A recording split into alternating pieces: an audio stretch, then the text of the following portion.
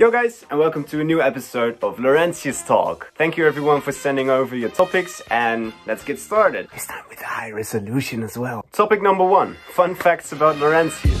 Alright, I like this one a lot. Um, I'm always positive, I'm always smiling, I go to the gym. I really think exercise and health is really important. I'm studying Spanish for fun. I'm a really big Arsenal fan, so uh, go Gunners and I am a really big rock fan.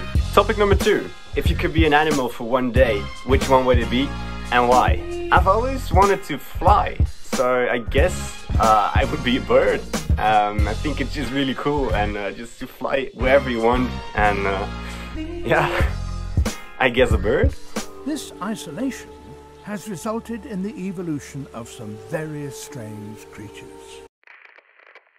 Topic number three. How do you write melodies? With a keyboard? With a guitar? Or whatever instrument you have lying around. Topic number four. What's your favorite movie? The Hangover. I like that movie so much. I've watched it like 20 times. Topic number five. Never be able to see again or hear again. Well, I'm a DJ, so that's a no-brainer.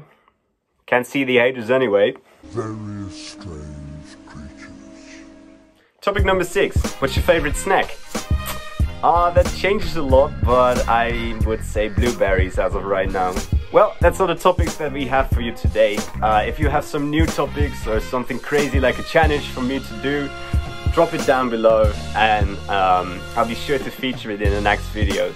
So, I'm Laurentius, I'm super bored, so thank you for watching.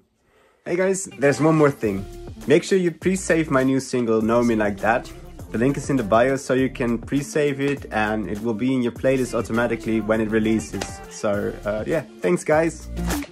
You know